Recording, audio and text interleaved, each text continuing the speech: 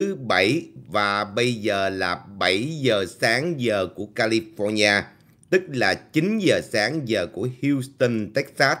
Trước hết cảm ơn tất cả bạn bè khán giả ở khắp nơi đã chọn channel của Phong để theo dõi các bản tin hàng ngày, các bài nói chuyện, phân tích, đối chiếu, so sánh trên tinh thần chủ quan của Phong cũng như là phần thảo luận của tất cả chúng ta sau mỗi một bản tin. Cảm ơn mọi người rất là nhiều.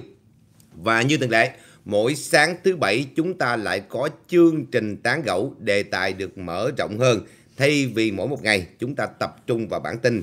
Tuy nhiên, trước khi bước vào phần tán gẫu sáng ngày hôm nay, cho phép Phong được đưa một cái thông báo và lời cảm ơn. Thứ nhất là cái thông báo là TNP Channel và Phượng Mai Official trong tháng 3 sẽ bắt đầu quay một cuốn phim feature phim feature, tức là loại phim một tiếng rưỡi, hay là còn gọi là phim chiếu rạp, của quý vị coi cũng được.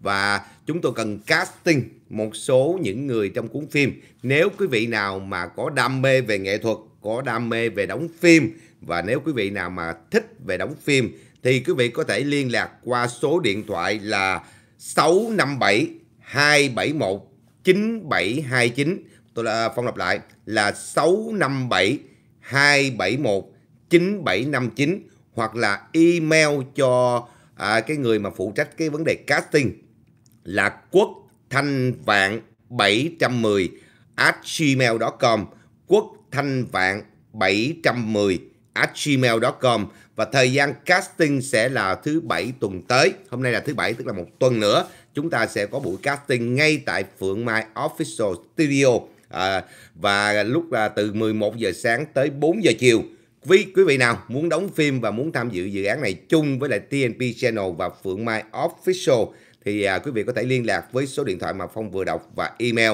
Về tới Nam California thì Phong sẽ làm cái banner ở trên cái màn hình để quý vị có thể tiện liên lạc. Tuy nhiên gọi sớm hoặc là email sớm cho Quốc Thành để à, à, Quốc Thành cho biết thêm chi tiết ngày giờ. Thì quý vị nào muốn đóng phim, muốn tham gia cái chương trình này cùng với TNP và Phượng Mai thì ghi danh với lại Quốc Thành. Cảm ơn tất cả mọi người. Và thứ hai, là lời cảm ơn. Đó là tối ngày hôm qua. Và cái à, buổi gặp gỡ anh em Maga rất thành công.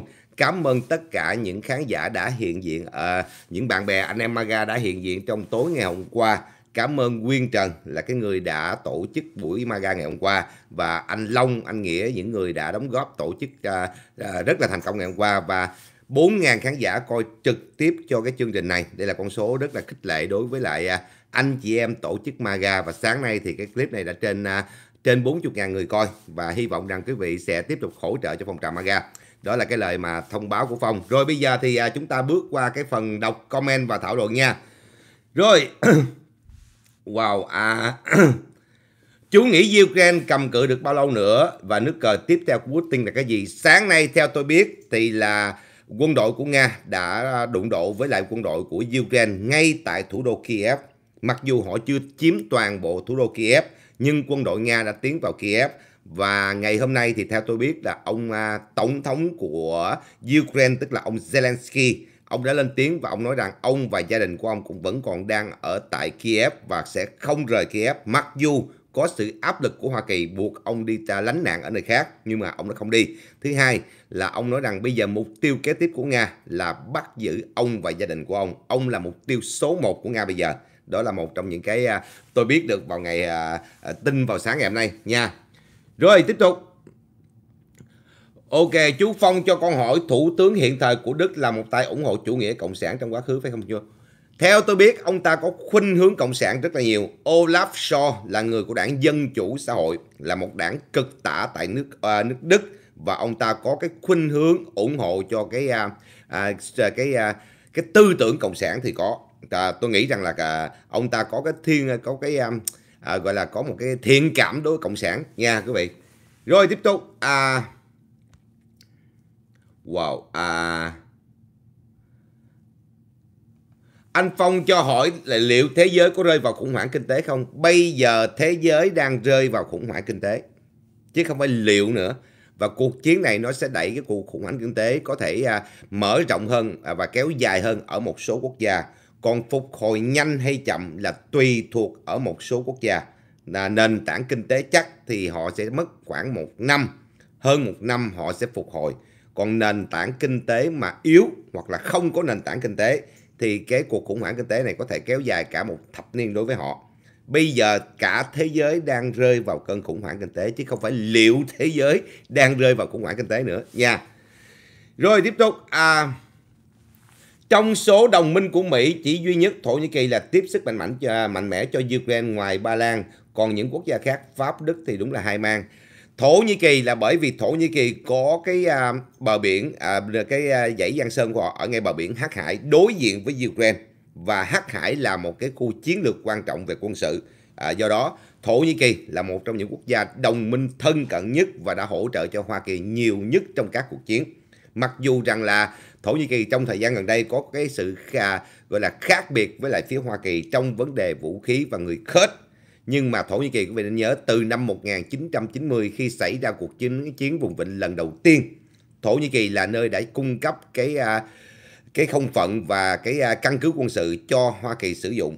Rồi tới năm à, à, tới à, cuộc chiến của à, Iraq năm 2003 rồi sau đó tới cuộc chiến tại Syria năm 2014 là Thổ Nhĩ Kỳ đều cung cấp cái à, không phận và cái à, căn cứ quân sự của họ ở tại à, lãnh thổ của họ cho Hoa Kỳ nha. Rồi tiếp tục à Việt Cộng không dám trừ dùng chữ xâm lược hay chiến tranh mà dùng từ xung đột vũ trang chiến dịch quân sự. Anh thấy tụi này lương lẹo hay không? Bởi vì nó cố tình dịch theo báo của Nga. Tại vì báo Nga họ không gọi cái đó là xâm lược. Mà báo Cộng sản thì chuyên môn dịch báo Nga. Do đó họ dùng cái chữ của Nga, cái chữ tuyên truyền của Nga là chuyện mà chúng ta hiểu được. Bởi vì Cộng sản đang có mối quan hệ cả lẫn Ukraine và cả Nga. Do đó họ dùng chữ mà xâm lược có nghĩa là họ sẽ đi ngược lại với à, cái à, chủ trương của Nga họ sẽ bị thiệt hại. Do đó báo Cộng sản đa số họ dịch từ báo Nga nhiều nha. Rồi tiếp tục. À, Wow. NATO và Hoa Kỳ chiến tranh với Nga để giữ trật tự à, thế giới. À, nếu không đánh Nga thì à, độc tài và độc đảng sẽ làm thế giới khủng hoảng về sau. Quý vị, đúng nhưng mà chính Hoa Kỳ và NATO cũng phải rõ ràng trong lập trường không thể chơi cái vùng màu xám. Nếu như thật sự muốn răng đe Nga và kềm chế Nga lẫn Trung Quốc trong vấn đề họ bành trướng cái chủ nghĩa độc tài của họ ra thế giới muốn ngăn cản chuyện này, điều đầu tiên là cả Hoa Kỳ và Nga, à, cả Hoa Kỳ và NATO là phải có một lập trường dứt khoát rõ ràng và cứng rắn thì mới làm được. Còn siêu siêu ở nền rồi cuối cùng quý vị chiến tranh bùng nổ vài năm rồi đi tới một cái thỏa hiệp về hòa bình. Rồi cái tự ca ngợi nhau là được giải nào Nobel hòa bình. Xong rồi cái quý vị lại chia chác nhau quyền lợi ở trên cái vấn đề năng lượng trên cái vấn đề xuất nhập cảng vân vân cái vấn đề ở chỗ là Hoa Kỳ và NATO dư sức răng đe những quốc gia như Trung Quốc hay Nga. Nhưng mà chính vì cái thái độ thỏa hiệp và cái à, thiếu lập trường rõ ràng của họ đã khiến cho NATO và Hoa Kỳ bị suy yếu trong vấn đề này nha. Rồi. Theo chú, chiến dịch Putin đưa quân vô lật đổ chính phủ Ukraine có giống chiến dịch Tây à, Nam vô Hoa Kỳ diệt chế độ Pol Pot hay không? Cũng có thể à, so sánh tương tự như vậy tức là Putin đang tìm cách lật đổ chính quyền của ông Zelensky. Và điều đặc biệt quý vị là trong tất cả những người mà trước ông Zelensky, đặc biệt là ông Poroshenko, là một tổng thống đắc cử sau khi mà có cái cuộc bất ổn tại Ukraine năm 2014 thì ông Poroshenko đã đắc cử trở thành tổng thống của Ukraine và ông này à, lúc đó còn bị à, phân hóa giữa Nga và của Tây phương nhưng ngày hôm nay ông ta là người cầm súng AK ngay tại thủ đô Kiev để bảo vệ trước sự xâm lấn của Nga. Đó là ông Tổng thống Poroshenko cùng với lại ông Tổng thống đương kim là Zelensky cũng chỉ huy mặt trực tiếp mặt trận ở tại Kiev luôn. Ok quý vị, điều đặc biệt là họ đều đứng chung để mà bảo vệ lãnh thổ của họ trước sự tấn công của Nga nha. Rồi, à, theo ông, anh Phong, kỳ này đám cánh tả Âu Châu và ông Joe Biden có bị mất quyền lực vì cuộc chiến Ukraine không? Mất quyền lực nếu quý vị định nghĩa theo kiểu mất quyền lực của cuộc bầu cử thì tôi nghĩ có. Có nghĩa là cuộc bầu cử sắp tới của Hoa Kỳ thì quyền lực của Quốc hội sẽ vào tay của đảng đối lập, tức là đảng Cộng Hòa, hay là bên Âu Châu cái à, khối đa số họ sẽ chiếm à, những khối bảo thủ đó, họ sẽ chiếm được cái quyền lực ở Quốc hội. Tuy nhiên, bản thân của ông tổng thống tổng thống bên hành pháp thì không mất quyền lực gì cả bởi vì ông ta là người đứng đầu của hành pháp Do đó, quyền lực của ông ta cũng không có bị à, suy chuyển gì cả. Nhưng nếu quý vị nói là quốc hội có thể kềm chế quyền hành pháp thì có. Đó là bởi vì à, cuộc bầu cử năm 2022 thì có nhiều dự đoán và có nhiều người tin rằng là đảng đối lập tức là đảng Hòa đảng Cộng hòa sẽ chiếm lại được quyền đa số để kềm chế à, cái à, quyền hành pháp của ông tổng thống nha. Rồi tiếp tục à, Wow, rồi những cái tin mà báo chí Việt Nam đăng thì không có tin là không có thật đâu nha các vị.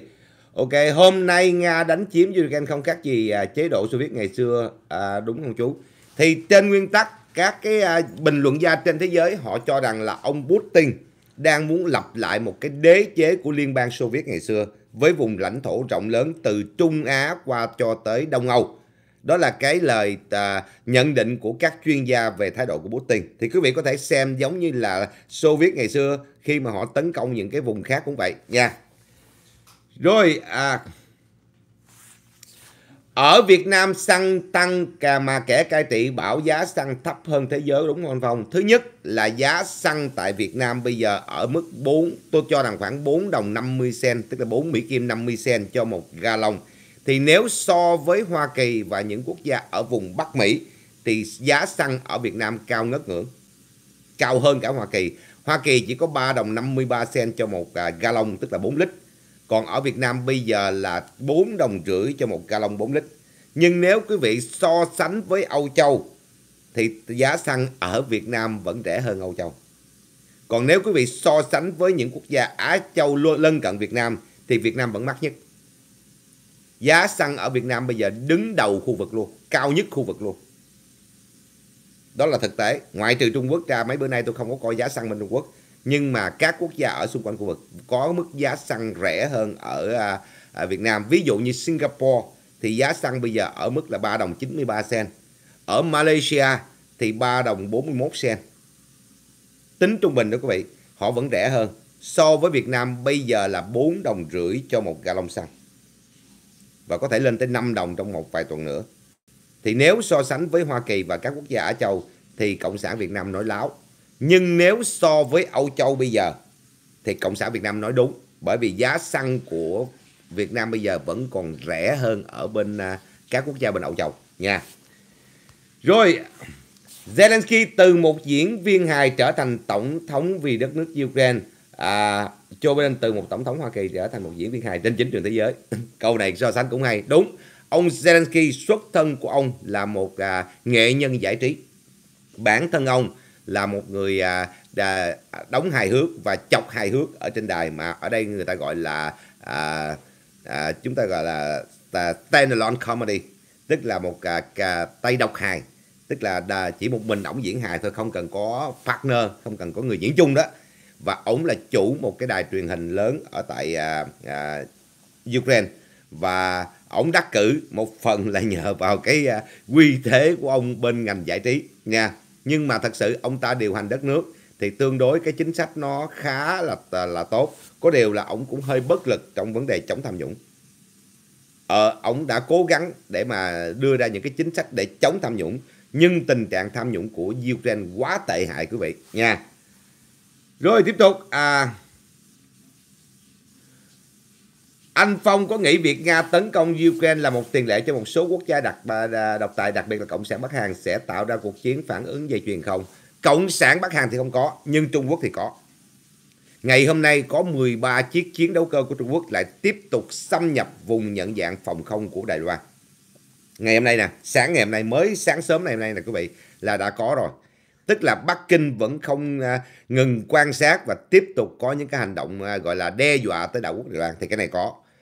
Và phía của Trung Đông thì các cái nhóm Hồi giáo hoạt động tại đây sẽ nương theo cuộc chiến của Nga và Ukraine để khuấy động. Trong đó à, những nhóm điển hình là nhóm Hồi giáo Houthi ở Yemen, nhóm Hồi giáo Hezbollah ở Lebanon và một à, nhóm Hồi giáo ISIS tại Syria cũng như là tại Iraq. Họ sẽ lợi dụng cuộc chiến này để mà khuấy động khu vực thì cái điều, điều này có và ngay cả nhóm Hồi giáo Hamas ở tại à, à giải giải, giải Gaza và vùng Tây Ngạn cũng có thể lợi dụng cuộc chiến này để bắt đầu tấn công vào lãnh thổ Do Thái. Thì những chuyện này có thể xảy ra nha. Rồi, 435 ghế dân biểu Hạ viện bao gồm cả dân biểu tiểu bang và dân biểu liên bang hà nội 435 ghế đó toàn bộ là dân biểu liên bang. Tức là congressman hay là congresswoman. Còn dân biểu tiểu bang, nó gọi, họ gọi là assembly, thì chỉ ở tiểu bang mà thôi. 435 ghế này là đại diện cho tất cả các khu vực trên toàn quốc ở liên bang nha. Ok. Rồi à Em thấy rất tuyệt vời khi buổi gặp gỡ anh em Maga rất vui cho em hỏi phong trào này sẽ duy trì đến 24 không? Dạ, yeah, bây giờ chúng ta sẽ khởi sẽ khởi đầu cái phong trào Maga này từ Bắc California, nơi tôi đang ở có mặt ở đây. Đây là thành trì của Đảng Dân Chủ trên toàn quốc luôn. Thành trì của Đảng Dân Chủ là New York và Bắc California. Thì bây giờ chúng ta khởi đi cái phong trào MAGA ngay trong lòng thành trì của Đảng Đảng Dân Chủ luôn nha. Rồi tiếp tục à, Trung Quốc không lường được chiến tranh Nga đối với Ukraine có thể tạo cho NATO đoàn kết hơn trong ờ, chiến lược Ukraine.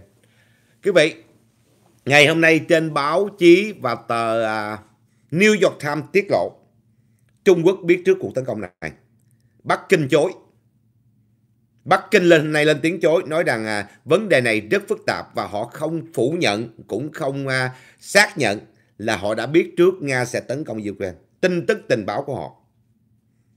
Thì cái đó là cái mà tôi biết được từ sáng ngày hôm nay trên tờ ờ, cái tờ cánh tả New York Times tờ, tuyên bố đó quý vị nha. Rồi à Wow à. Rồi tiếp tục anh Phong à chuyện Rico.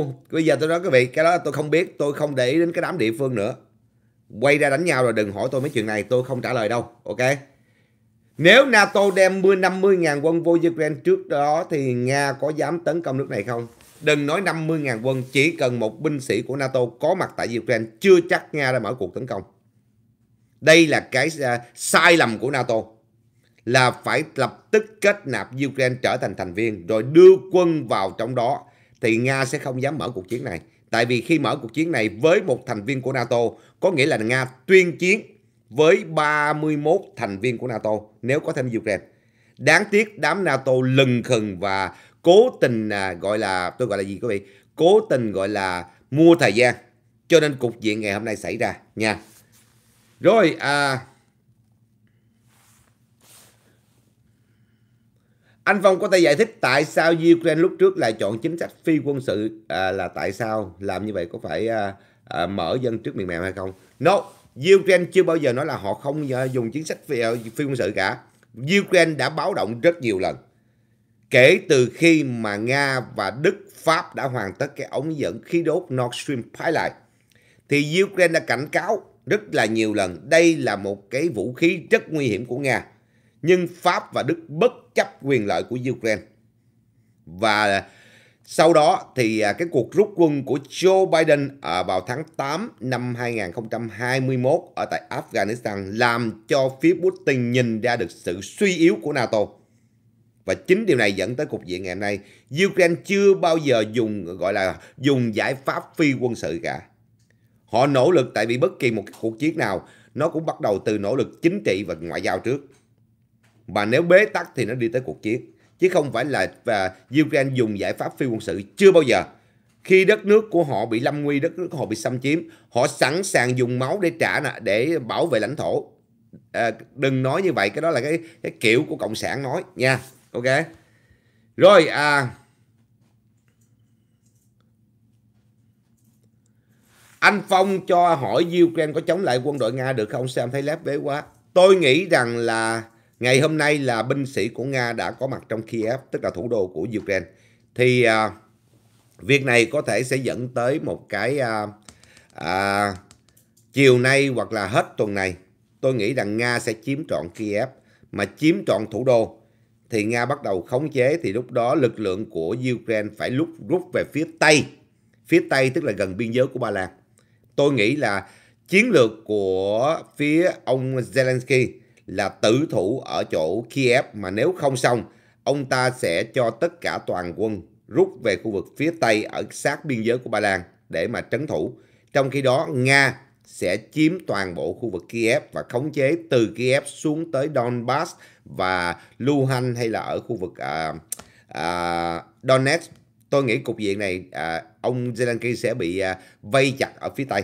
Đó là cái nhận định chủ quan của tôi thôi nha rồi à, Chú Phong sao cho hỏi sau khi Liên bang Xô Viết tan rã, Ukraine có nhiều vũ khí hạnh tâm mà họ không kiên quyết giữ nó và bảo vệ lãnh thổ. Bởi vì lúc đó Ukraine chuyển qua một thể chế dân chủ và họ à, tôi đọc trên đó thì họ dùng chữ surrender tức là đầu hàng. Dịch đầu hàng thì không đúng nhưng mà tình nguyện giao nạp tất cả những vũ khí nguyên tử đó tại vì họ không nghĩ rằng họ sẽ có chiến tranh lại. Họ không nghĩ rằng và họ muốn phát triển quốc gia theo cái chiều hướng kinh tế nhiều hơn. Do đó, họ surrender, tức là họ đầu hàng và họ giao nạp tất cả những vũ khí nguyên tử. Cái đó là cái tại vì họ không kiểm soát, mà may là lúc đó Ukraine tình nguyện. Tôi nói may lúc đó Ukraine tình nguyện. Nếu như Ukraine mà còn giữ vũ khí nguyên tử, cho tới ngày hôm nay, tôi không biết sẽ có bao nhiêu vũ khí nguyên tử xuất hiện trên thế giới bởi vì cái hệ thống chính quyền của Ukraine, giống như tôi nói, tham nhũng rất là nhiều đứng đầu thế giới mà một trong 10 quốc gia đứng đầu thế giới về tham nhũng mà thì quý vị không thể nào kiểm soát được khi mà những thành phần tham nhũng này tuồn những cái vũ khí nguyên tử hoặc những cái công thức nguyên tử đó cho những quốc gia khác. Đặc biệt là những quốc gia mà có cái xu hướng mà đe dọa khu vực là đặc biệt là cái khối Hồi giáo cực đoan nữa. Cho nên cái điều may mắn là Ukraine đã tình nguyện cái chuyện này ở thập niên 90 nha. Rồi tiếp tục. À, wow, hôm nay quý vị tập trung vào Ukraine hơi nhiều đó nha. À, Tham vọng của Putin cũng giống như Hitler ngày xưa. Gần như là gần giống rồi đó quý vị. Tôi thấy là 75-80% là giống rồi đó nha. Nga có thị trường chứng khoán không? Vậy được gọi là gì? Nga có thị trường chứng khoán nhưng mà tôi không nhớ cái tên của họ gọi là gì hôm trước lâu lắm rồi họ viết tắt cái chữ gì đó. Thì thị trường chứng khoán của Nga đã bị bốc hơi rồi. Hôm qua hôm kia khi mở khi mở cuộc tấn công là toàn bộ thị trường chứng khoán của Nga sụt điểm đó nha. Bất cứ nước nào cũng có thị trường chứng khoán cả. Rồi tiếp tục. À, lần này Putin sẽ thất bại nặng nề nếu như phía NATO cương quyết đưa quân vào và bảo vệ Ukraine. Còn nếu như đã đám NATO vẫn còn đóng vai giống như bây giờ đó quý vị, Putin không thất bại. Trên cả lĩnh vực quân sự lẫn cái lãnh lĩnh vực chính trị, tôi không nghĩ lần này Putin thất bại đâu. Nếu như đám NATO vẫn tiếp tục giữ thái độ lưng khừng như bây giờ. Nha. Rồi tiếp tục. À... wow. À, hôm nay cả Trung Quốc đang rút kinh nghiệm từ Nga. Sự kiên cường của người Ukraine là vũ khí mạnh nhất cho người Đài Loan học hỏi. Chưa biết như thế nào nhưng cho tới giờ phút này thì người Đài Loan cũng giống như người Ukraine. Họ nói rằng họ sẽ bảo vệ lãnh thổ cho của họ cho tới cái hơi thở cuối cùng. Đó là cái lời nói hôm trước của Ngoại trưởng Đài Loan là ông Joseph Wu đã nói chúng tôi sẽ bảo vệ lãnh thổ cho tới hơi thở cuối cùng. Thì à, các cuộc thăm dò gần đây của Đài Loan thì họ vẫn duy trì được cái mức độc lập của Đài Loan rất cao. Và hôm trước là 88%, 87, 88% gì đó. Tôi nhớ không lầm là như vậy nha. Rồi tiếp tục. À,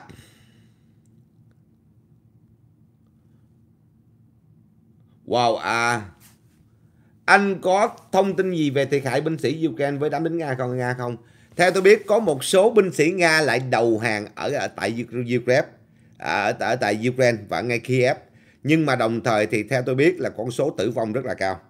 Và à, các cái à, cuộc không tập của Nga vẫn tráo riết nhắm vào thủ đô Kiev. Và bây giờ Nga đã tiến vào trong thủ đô Kiev nhưng họ chưa kiểm soát được. Hai bên vẫn còn đụng nhau gay gắt tại đây.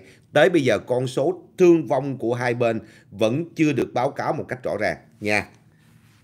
Rồi tiếp tục. À, tội nghiệp quá trong đây có những người mà vô đây á, là nói tầm bậy tầm bạ thì cho đi luôn nha. Ok. Wow. Tổng thống Ukraine quá dại dột tin Biden và Âu Châu hữu bại. Ông ta tin vào cái sự gọi là ủng hộ. Nhưng mà cái sự ủng hộ này nó rõ ràng cho chúng ta thấy là à, chỉ về mặt vũ khí và không có một cái sự quyết liệt đi tới cùng. Nếu quyết liệt đi tới cùng thì ngày hôm nay Ukraine đã trở thành thành viên chính thức của NATO rồi. Do đó quý vị, tôi cho rằng là cái sự ích kỷ của Pháp và Đức Ồ, ngày hôm nay có cái tin nữa là cái à, công cái tổ chức lobby cho cái ống dẫn dầu Nord Stream Pipeline tuyên bố là chấm dứt các mối quan hệ với những à, à, công ty có liên hệ tới cái tổ à, cái à, ống dẫn dầu à, ống dẫn khí đốt Pi, Nord Stream Pipeline. Quý vị biết ai trả tiền cho công ty lobby đó? Đức và Pháp. Đức và Pháp trả tiền cho công ty lobby đó để tháo gỡ lệnh cấm vận đối với họ ra khỏi cổng dẫn giờ khí đốt uh, Nord Stream Pipeline đó quý vị nha. Rồi tiếp tục à, theo anh kỳ này nước Pháp có tổng thống cánh hữu không vậy anh? Nếu mà Pháp có tổng thống cánh hữu thì nó sẽ chấn động cả Âu Châu. Tôi không nghĩ là như vậy. Tại vì từ năm 2000 cho tới bây giờ kể từ khi mà ông John ông John Le Pen thất cử cho tới bây giờ, gần như cánh hữu đã bị cánh tả đè bẹp tại nước Pháp. John Le Pen, hình như là John Le Pen thì phải, à, là cái người mà đã bên cánh hữu đã ra tranh cử và thất cử năm 2000 đó, 2000 hay 2002 đó, cho tới bây giờ là coi như cả nước Pháp nằm dưới sự thống trị của cánh tả nha. Rồi tiếp tục à Wow. À, các bạn vào khá nhiều nha. À Hoa Kỳ đã dùng tới bom hạt nhân tài chính SWIFT đối với Nga trên phong. Đúng, dùng rồi. Dùng rồi nhưng mà bây giờ tôi đã nói quý vị, dùng thì dùng. Nhưng mà cuối cùng quý vị, nó vẫn là Nga sẽ yêu cầu trả tiền mặt. Vậy vấn đề không phải cấm vận đối với Nga là nó hữu hiệu. Tôi đã từng nói quý vị rồi. Nếu cấm vận với tất cả các công ty làm ăn với Nga thì nó mới quốc thì nó mới nó mới ấy. còn về cấm vận nhắm vào Nga không nhưng mà những công ty đang làm ăn với Nga thì đâu có bị cấm vận đâu. Đó ví dụ như BMW đang có công xưởng tại Nga. Đúng chưa? Một số công ty năng lượng của à, Đức Pháp vẫn tiếp tục nhận nguồn năng lượng của Nga. Thì quý vị thấy rồi cái trò cấm vận nửa mùa này sẽ không ảnh hưởng tới Putin. Trừ phi là đi quyết liệt luôn. Và bây giờ đi quyết liệt như vậy thì Trung Quốc vẫn trả tiền mặt thay vì dùng hệ thống chuyển ngân. Họ vẫn có thể mang tiền mặt trả cho Nga để mua năng lượng. Do đó quý vị, những cái lời nói là chúng tôi sẽ có những cái lệnh cấm vận chưa từng có. So what? Rồi chúng tôi sẽ cấm vận luôn cá nhân Putin. Bây giờ có cấm vận cá nhân Putin luôn, ông ta cũng đâu có chết. Rồi vài năm sau đó lại bắt đầu tháo gỡ cấm vận lại bắt đầu à, à, thỏa ước hòa bình. Cái lối này quý vị nó lặp đi lặp lại mấy chục năm nay rồi. Nó không giải quyết dứt khoát vấn đề. Trừ phi là lệnh cấm vận này nhắm thẳng luôn vào những công ty nào đang associate với lại Nga. Dám không? Dám cấm vận những công ty này không? Tôi không nghĩ hồi giáo. Nha. Rồi tiếp tục. À wow. Theo em thế giới này sau này nói dân chủ nhân quyền toàn là độc tài hết anh. À, chỉ nói miệng hành động toàn là độc tài có quyền độc tài. Thật sự quý vị chính cái lực lượng cánh tả đã làm suy yếu các nền dân chủ. Muốn bảo vệ nền dân chủ chúng ta cần phải có lập trường rõ ràng và mạnh mẽ. Nhưng mà chính vì cái lối thỏa hiệp và cứ nghĩ rằng là ô chúng ta dùng giải pháp mềm dẻo sẽ thuyết phục được những quốc gia khác từ độc tài qua dân chủ. No. Cuối cùng chỉ xây dựng quyền lực cho những chế độ độc tài toàn trị và nó phát triển ra, nó uy hiếp ngược lại những quốc gia có nền dân chủ thật sự. Nền dân chủ đang bị suy yếu, bị decline là bởi vì chính cái à, cái trò gọi là thỏa hiệp chính trị này nha. Ok. Wow, à UN đúng là tổ chức lụng bại vì bữa nay họ họ cố thông qua nghị quyết trừng phạt Nga trong khi Nga hoàn toàn phủ quyết nghị định này. Dạ. Yeah. Bởi vì tôi nói quý vị, gây cái quy tắc của họ là đã lụng bại ngay từ đầu rồi phải như nói ok đa số thắng thiểu số thì ít nhất 3 phiếu của Anh, Pháp, Hoa Kỳ có thể trấn áp được hai phiếu của Nga, Trung Quốc. Nhưng cái quy tắc đặt ra chỉ cần một quốc gia trong năm quốc gia thành viên bỏ phiếu phủ quyết coi như không ra được cái nghị quyết. Rồi bây giờ lục đục đòi trục xuất Nga ra khỏi Liên Hiệp Quốc. Làm sao trục xuất đây? Liệu Trung Quốc có để cho Nga bị trục xuất ra Liên Hiệp Quốc không? Tại vì nếu mà trục xuất Nga ra khỏi Liên Hiệp Quốc thì phải đưa quốc gia khác vào. Có nghĩa là Trung Quốc không còn đồng minh nữa, có mình họ. Họ phải đối diện với bốn cái lá phiếu khác. Họ đâu có dại vậy. Họ đâu có ngu để cho họ bị thất bại như vậy. Nha quý vị. Rồi tiếp tục. À, Đảng Cộng Hòa sẽ làm gì sau khi chiếm đa số ở Thượng viện và Hạ viện? Thứ nhất là sẽ kiềm chế quyền hành pháp của ông Joe Biden. Không để cho ông ta thực hiện những chính sách cực tả. Những cái chính sách nào có lợi cho người dân, toàn bộ người dân thì họ bỏ phiếu. Tương tự như lúc ông ta lên tới bây giờ có hai lần đảng Cộng Hòa. Bây giờ là lần thứ ba đã bỏ phiếu ủng hộ cho Joe Biden. Tại vì những cái chính sách đó nó có lợi cho dân Mỹ. Thứ nhất là cái ngân sách 1.900 tỷ Mỹ Kim hỗ trợ cho người dân trong lúc chống đại dịch. Thì cái này đảng Cộng Hòa đã bỏ phiếu tại vì cái đó là nhu cầu của dân Mỹ. Cho nên họ bỏ phiếu ủng hộ ông Joe Biden. Lần thứ hai là cái à, ngân sách 1.200 tỷ Mỹ Kim để mà tái xây dựng toàn bộ hạ tầng cơ sở tại đất nước Mỹ này vốn đã trên 100 năm cũ kỹ rồi. Thì họ bỏ phiếu họ đồng ý để xây dựng lại hết. Tại vì cái đó là cái cái à, cái, cái agenda tức là cái nghị trình mà nó có lợi cho toàn bộ dân Mỹ.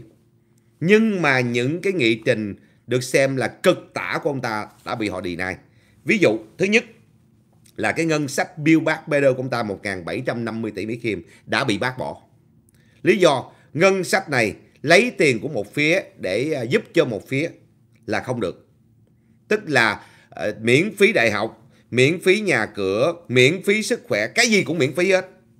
Là để tăng thuế.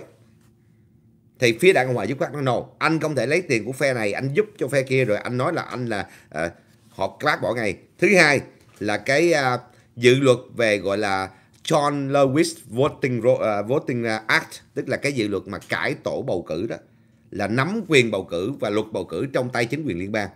Thì phía đảng Cộng Hòa chống một cách quyết liệt luôn Tại vì đây là hành động chính trị chứ không có lợi cho dân Mỹ.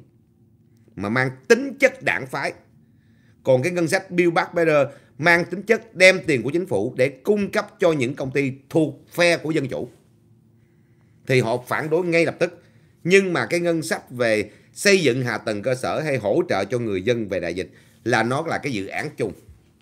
Thì cái khi mà đảng Cộng Hòa chiếm đa số quyền ở Quốc hội, họ sẽ kềm chế cái chính sách cực tả này những chính sách cực tả của ông Joe Biden sẽ quốc hội sẽ đi này. Còn những chính sách nào mang tính chất gọi là có lợi ích cho toàn dân, không kể người đó bên nào hết, thì họ sẽ bỏ phiếu. Họ sẽ bỏ phiếu. Tức là nó sẽ làm cho chính quyền Joe Biden không lạm quyền được nữa. Không lợi dụng danh nghĩa ABC được nữa. Nha. Nếu chúng ta kiểm soát lại lưỡng viện quốc hội. Rồi tiếp tục. Wow. À, wow. Ấn Độ và UAE lại bỏ phiếu trắng cho dự thảo về quyết định Mỹ soạn về Ukraine. Ấn Độ tôi à, họ bỏ phiếu trắng là họ không muốn đứng về phía nào. Cái chuyện này tôi đã giải thích với quý vị rất nhiều lần. Tôi nói Ấn Độ, Nga có cái cửa vì Nga vừa bán vũ khí cho Ấn Độ, vừa bán và năng lượng cho Ấn Độ. Thì quý vị, tôi đã nói rồi chưa chắc là những quốc gia này đồng ý. Chưa chắc những quốc gia này đồng ý rồi chưa kể là ở trên cái thành viên thường trực Trung Quốc cũng chưa chắc đã đồng ý nữa. Tôi đã nói quý vị rồi, cái hội đồng bảo an là liệt. Nó bị liệt. Do đó lệnh cấm vận không si nhê với Nga là như vậy nha. Rồi tiếp tục. À, theo anh cuộc chiến này có kết thúc sớm hay không? Tùy thuộc vào phía Nga chiếm bao nhiêu phần lãnh thổ và bao lâu mất bao lâu họ sẽ chiếm được thủ đô Kiev.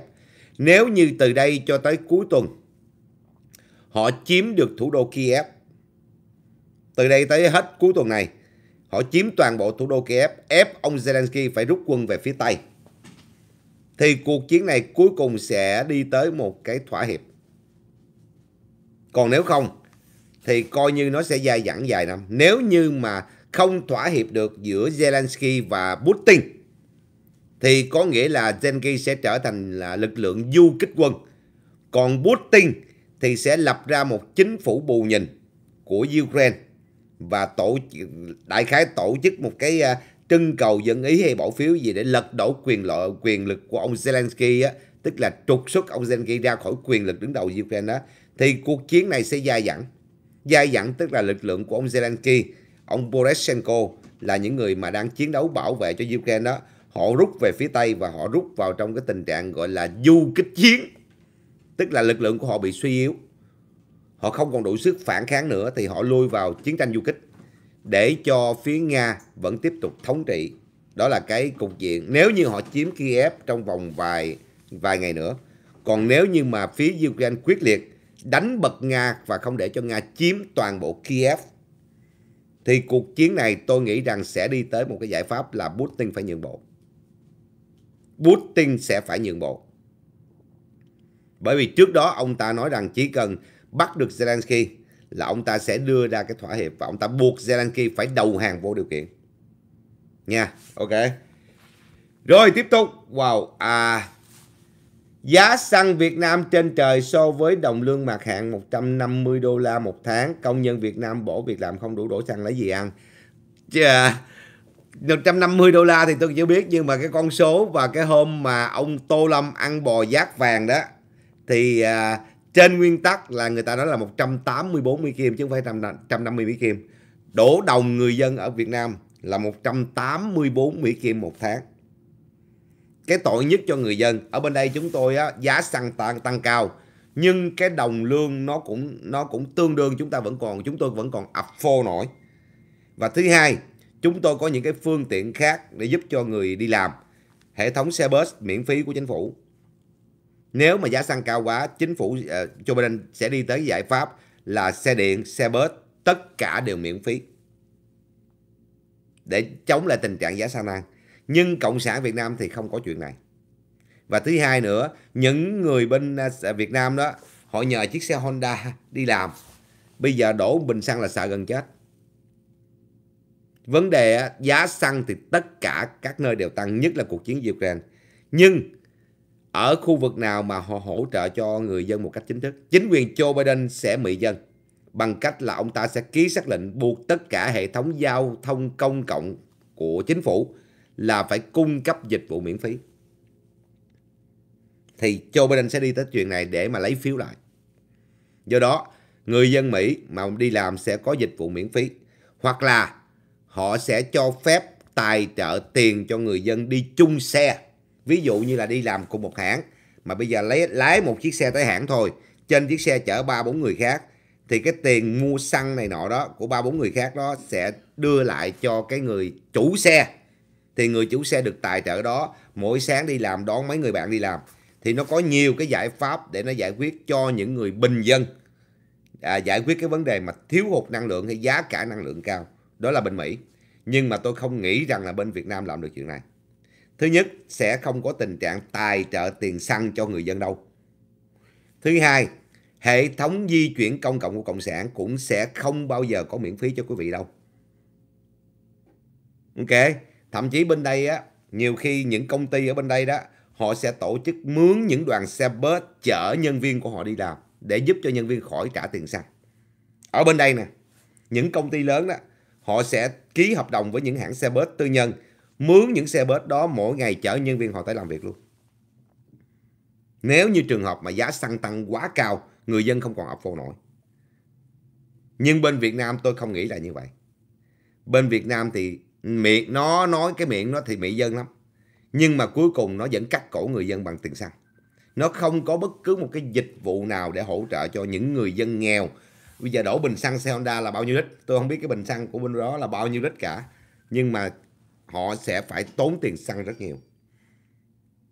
Thì quý vị, cái khác biệt giữa một cái xã hội tự do dân chủ và người à, cái chính phủ làm việc cho dân nó khác với cái chính phủ dùng dân để cái gọi là chính phủ dùng dân làm giàu là cộng sản Việt Nam. Tức là nó dùng tất cả nó mượn danh nghĩa của quý vị để nó làm giàu cho cá nhân của nó. Còn ở bên Mỹ những người dân cử ra là họ của à, những người dân. Cho nên họ sẽ đưa ra những cái chính sách để mà đáp ứng cái, cái khó khăn của người dân. Nó khác biệt chỗ này là chỗ như vậy đó quý vị. Nha. Rồi tiếp tục. À, suốt 4 năm qua NATO không chấp nhận đơn xin gia nhập. Ok mất tiêu rồi. Nó đẩy lẹ quá. Sorry cái người bạn vừa rồi. Nó đẩy lên nhanh quá. Tôi mất luôn cái à, cái comment đó rồi nha nếu NATO và Mỹ tham chiến, chú nghĩ họ đánh trên lãnh thổ Nga hay Ukraine hay Nga? Cả hai luôn. Vừa chống trả Nga trên lãnh thổ của Ukraine vừa tấn công trực tiếp vào Moscow để buộc Nga rút quân. Nếu như NATO và Hoa Kỳ mà có cuộc đối đầu quân sự với lại à, Nga đó ở tại thì vừa đối đầu với lại Nga ở tại Ukraine, đồng thời vừa tấn công thẳng vào lãnh thổ của Nga để ép Nga rút quân luôn nha. Rồi tiếp tục à Wow. À Tướng về hưu 4 sao nói rằng NATO sẽ tiếp chiến với Ukraine. Tiếp chiến là sao? Thứ nhất, tướng về hưu tên gì? Và nói câu này như thế nào? Tiếp chiến là như thế nào? Tôi cũng không hiểu ý của bạn luôn làm sao trả lời. Ok. Đăng tải ở Ukraine xe tăng cán thường dân có phải là xe tăng của Nga không? Tôi có thấy cái đoạn đó và hình như cái đoạn đó original của nó là từ trên TikTok chứ không phải từ trên uh, Facebook.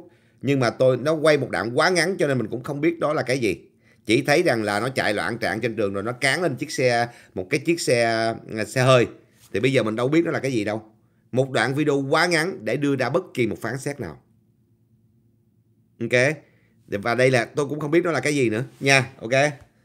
Rồi, tiếp tục à Tôi rất khâm phục ông Tổng thống Ukraine ở lại chiến đấu cùng với binh sĩ và ông cựu Tổng thống luôn. Ngày hôm nay là cả Boresenko lẫn ông Zelensky là hai người để mà ông Boresenko là lúc mà trả lời à, phỏng vấn với cái đài cánh tả CNN đó quý vị là ông đang cầm cái AK luôn. Mà cao giáp cầm cái AK và ông nói rằng là tôi đang ở Kiev và tôi đang chỉ, à, chỉ huy một cái à, mặt trận đối phó với Nga. Trong khi đó ông Zelensky thì vừa nằm dưới hầm, vừa chỉ huy lực lượng quân sự, vừa phải trả lời các hãng thông tấn trên thế giới bởi vì ông là tổng thống đương kim. Cho nên là các hãng thông tấn trên thế giới nó dí ông nó phỏng vấn là ông phải vừa làm ba bốn việc. Còn ông Poroshenko thì à, giữ giữ ở một cái mặt trận khác để đối đầu với Nga. Thì đây là hai ông tổng thống luôn. Cả cựu tổng thống lẫn tổng thống đương kim luôn nha. Rồi tiếp tục à Wow, à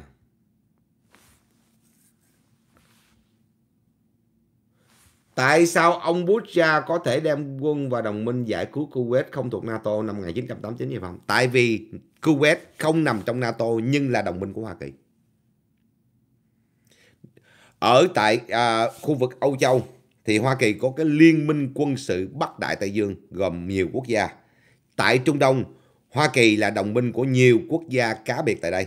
Kuwait là một trong những quốc gia đồng minh thân cận nhất của Hoa Kỳ tại Trung Đông. Sau Do Thái. Do đó bắt buộc là ông Busha phải đưa quân bảo vệ đồng minh nha.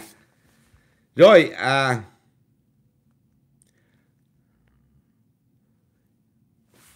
NATO không muốn Ukraine gia nhập vì Ukraine quá tham nhũng và nghèo nàn phải không không? Đó là lý do họ nhân danh lý do không phải là nghèo nàn mà tham nhũng. Họ nhân danh là họ buộc Ukraine là phải cải tổ hệ thống hành hành pháp để giảm bớt tham nhũng rồi họ mới duyệt xét tới cái đơn. Cái này là cái lý do của Pháp Đức đưa ra. Pháp Đức là hai quốc gia đưa ra để phản đối. Bởi vì Nga đã áp lực Pháp Đức là các anh muốn tiếp tục tôi cung cấp nguồn năng lượng, thì các anh phải bỏ phiếu no ở trong cái NATO, trong vấn đề Ukraine gia nhập vào NATO. Cho nên Pháp Đức mượn danh nghĩa về tham nhũng, cản trở cái lá phiếu, cái lá đơn này. Một số quốc gia khác ủng hộ mạnh mẽ cho Ukraine trong NATO là Ba Lan. Bởi vì Ba Lan có đường biên giới trực tiếp với cả Ukraine và của à, Belarus. Và nếu như Ukraine nằm trong NATO thì sẽ có một cái vùng đệm khoảng ở giữa Ukraine và à, giữa Ba Lan và Nga. Do nên Ba Lan quyết liệt ủng hộ, nhưng Pháp và Đức chống. Do đó lá đơn đó chưa duyệt xét tới được. Nghe quý vị. Rồi tiếp tục nếu không mua khí đốt của Nga, Đức có thể nhập khí đốt từ nước nào? Có nhiều lắm. Đức có nhiều nguồn khí đốt nhưng chủ lực 60% nguồn khí đốt của họ là ở Nga bởi vì nó rẻ. 40% còn lại nhập cảng từ những quốc gia khác, trong đó bao gồm luôn cả nhập cảng từ Na Uy, rồi à, nhập cảng từ à, dầu hỏa từ các quốc gia Trung Đông để à, biến thành khí đốt tại à, tại à, Âu Châu, rồi à, nhập cảng từ ở một số quốc gia Á Châu sản xuất dầu hỏa. Nhưng mà tại vì nhập chủ yếu từ Nga, Nga khoảng 5-60% nhập từ Nga là bởi vì nó trực tiếp dễ dàng hơn và nó rẻ hơn.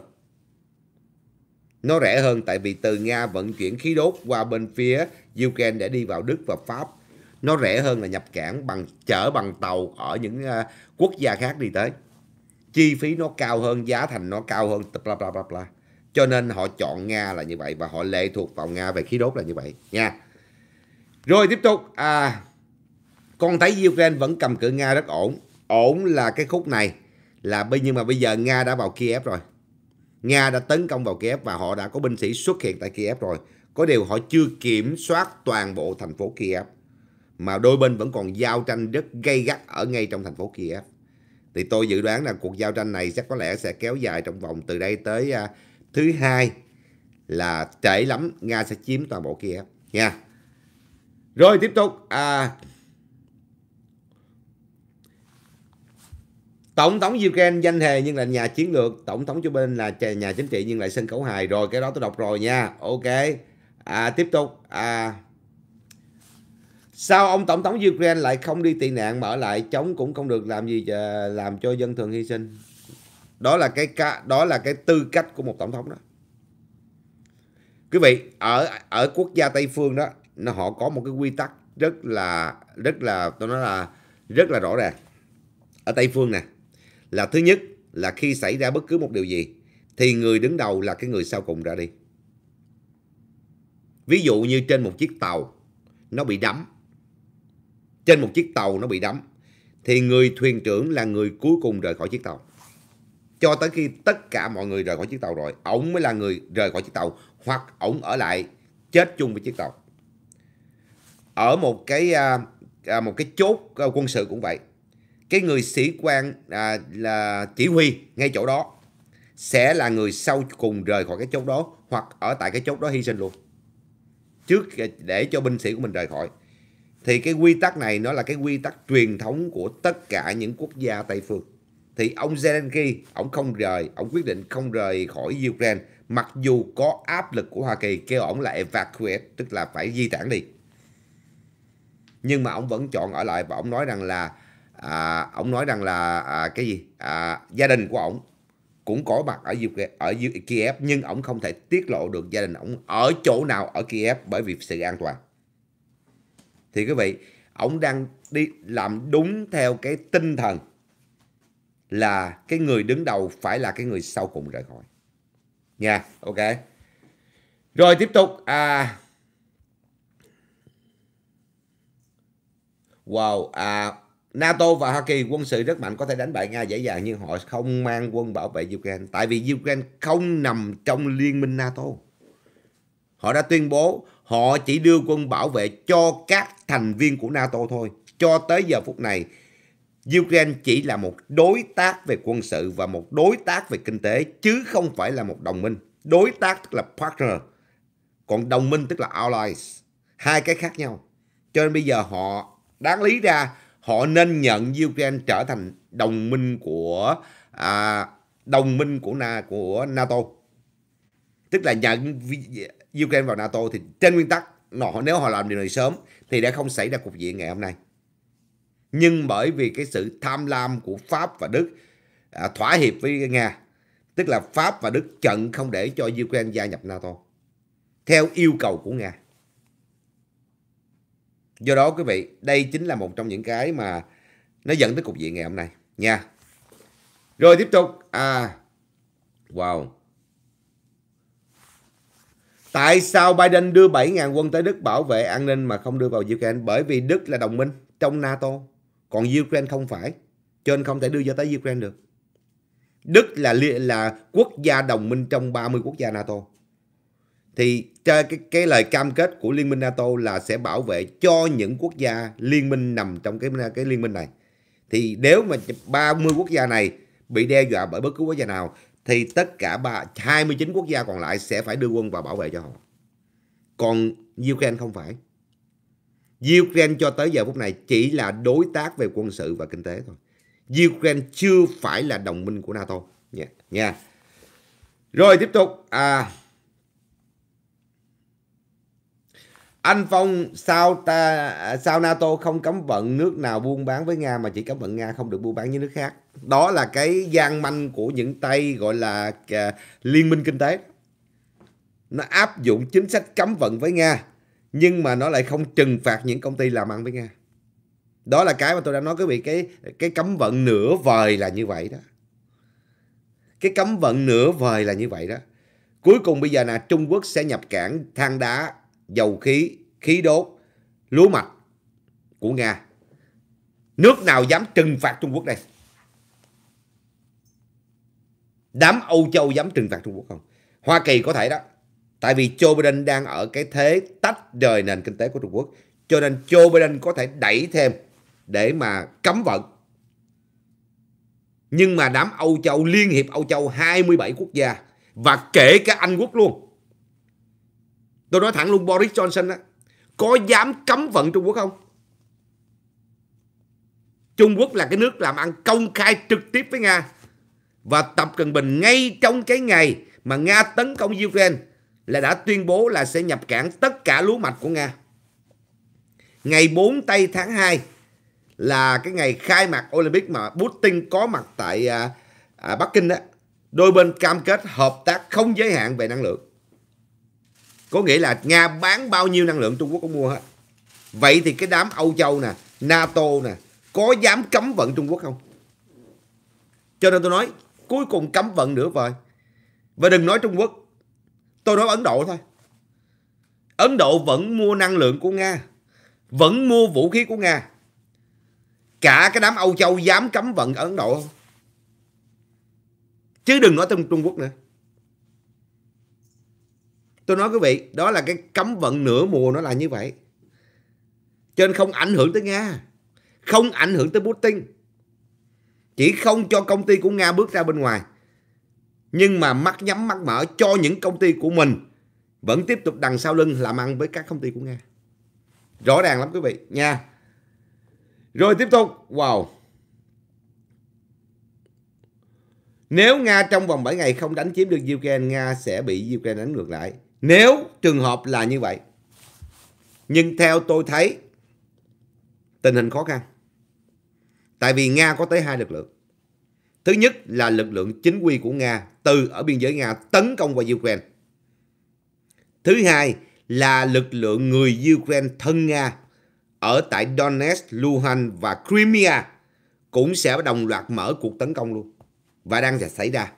Lực lượng thân Nga tại đây chưa kể Belarus ở trên đó đang tấn đó sẵn sàng nếu Nga cần thiết họ đưa quân luôn. Tức là hướng Nam, hướng Bắc và hướng Đông đều bị tấn công hết. Đều bị tấn công hết. Cho nên tôi không nghĩ rằng Ukraine có thể chống nổi.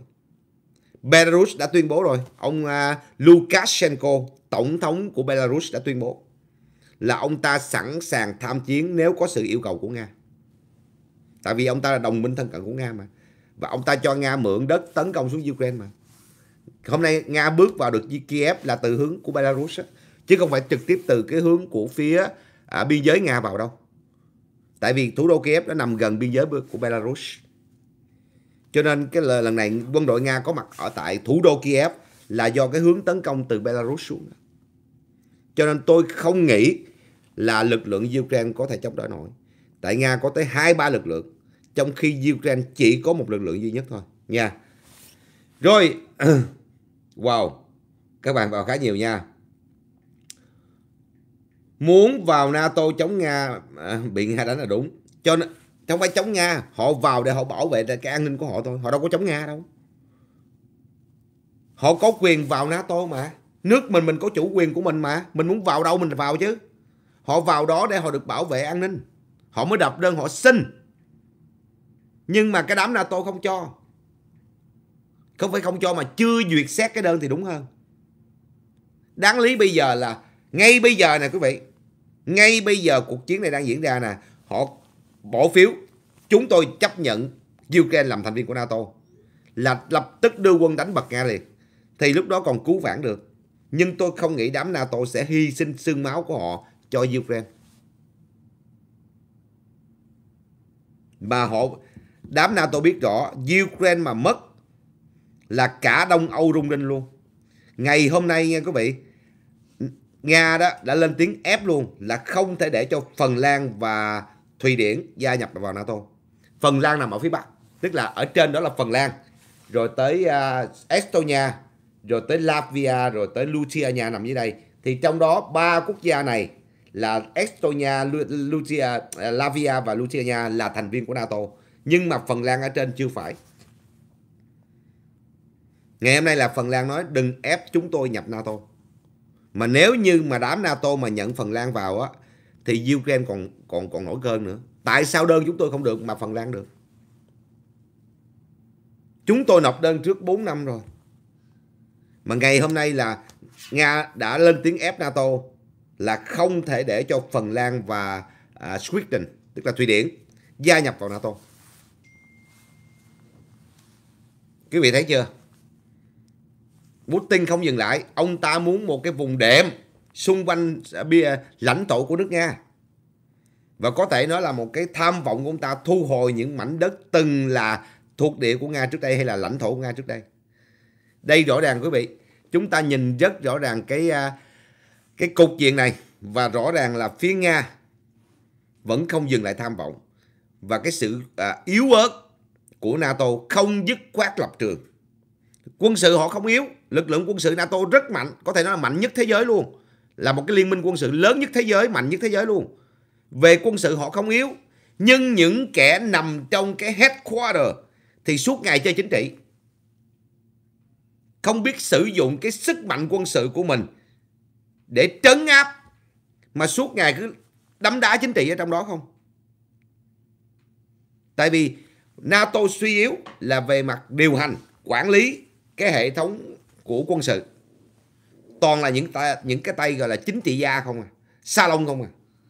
Nhưng mà những người binh lính, những người uh, sĩ quan, những người lính của NATO đó, của 30 quốc gia đó, họ có yếu hơn Nga không quý vị? Không. Nga chưa chắc cự nổi với họ đâu. Nhưng mà họ đâu có được lệnh đánh. Họ đâu có được lệnh đối đầu với Nga đâu. Những binh sĩ này là những người đã có kinh nghiệm trên chiến trường rất nhiều. Từ binh sĩ của Thổ Nhĩ Kỳ đang đang chiến đấu ở tại chiến trường của Iraq, Trung Đông, cho tới kể cả binh sĩ của Pháp đang có mặt ở Somalia, ở tại uh, Sudan, rồi binh sĩ của Hoa Kỳ, binh sĩ của Anh. Những binh sĩ này đâu có yếu đâu quý vị, họ nằm trong NATO mà. Thì quý vị thấy rõ ràng đó là lực lượng quân sự của NATO không yếu, nhưng những kẻ nắm đầu ở cái headquarter, tức là bộ tổng tham mưu, bộ tư lệnh đó, toàn là những kẻ ăn cơm chính trị không à. Chứ không có một cái nỗ lực thật sự. Bởi vậy quý vị, nó bị chi phối quá nhiều. Rồi quyết định đâu phải là của những người trong quân sự đâu. Quyết định là những ông tổng thống, những ông thủ tướng có chấp nhận cho cho Ukraine vô không là do những ông tổng thống và thủ tướng nằm trong cái liên minh này. Chứ đâu phải là người lính quyết định cho na, cho Ukraine vô đâu. Chính vì đó, cái sự suy yếu nó nằm chỗ này, chứ không phải lực lượng quân sự của NATO yếu. Mà chính là cái cái nền chính trị trong cái NATO này nó làm cho suy yếu. Nếu phải hiểu rõ ràng như vậy, nó mới giải thích được cho quý vị. Cứ nói là lính NATO. No, lính NATO không có yếu nha chỉ là gì? Đám nga có được một ông tổng thống mạnh mẽ độc tài đi. Mình mình, mình ở ngoài này mình gọi là độc tài toàn trị và ác độc. Nhưng trong mắt của những người lính nga ông này là một ông tổng thống mạnh mẽ có lập trường. Còn những binh sĩ nato họ mạnh mẽ không kém nhưng mà họ nhìn lên lãnh đạo của họ họ lắc đầu. Suốt ngày chơi chính trị không à? Đó là lý do tại sao tới ngày hôm nay cục diện Ukraine xảy ra rất rõ ràng quý vị. Đây là một trong những cái điều mà tôi muốn cho quý vị thấy là sự suy yếu về mặt chính trị nó khác. Đừng đánh đồng cái sự suy yếu về mặt chính trị và lực lượng quân sự. Hai cái nó khác nhau. Lực lượng quân sự của 30 quốc gia này không có yếu đâu quý vị. Trong đó Hoa Kỳ, NATO, những người lính này họ không yếu. họ rất mạnh mẽ. Nhưng mà cái cái đám ở trên đó, đó ngay cả ngũ giác đài Người đứng đầu là Lloyd Austin á, suốt ngày chính trị. Chuyện của đồng minh mình thì không lo. Nhưng mà sẵn sàng đưa quân trấn áp người dân mình ngay tại lãnh thổ của mình. Cái vụ mà đưa à, vệ binh quốc gia vào cái vụ mà chuẩn bị đám tài xế đang có cái cuộc rally ở DC á, là sẵn sàng đưa vệ binh quốc gia tới đó trấn áp. trong khi công dân bị chết ở Afghanistan á thì bó tay bó chân ngồi ngó như nè đó là chính trị đó quý vị đó tôi gọi là thái độ chính trị đó. Họ sử dụng cái quyền lực quân sự đó cho mục tiêu khác, chứ không phải cho cái mục tiêu bảo vệ người dân. Và chính cái nền chính trị suy yếu này, Putin nhìn thấy. Và ông Trump nói, Putin là một kẻ thông minh, nó nhìn thấy được những điều này. Bây giờ lời nói của ông bị bẻ ngược lại. Đây chính là cái mà tôi kể cho cho quý vị thấy rõ cái sự suy yếu của NATO là như vậy. Nha ok. Rồi cảm ơn tất cả mọi người rất là nhiều. Trước khi mà Phong chia tay cùng quý vị cho phép Phong được nhắc lại cái thông báo của cái uh, cái thông báo của cái uh, uh, cái uh, buổi casting của Phong.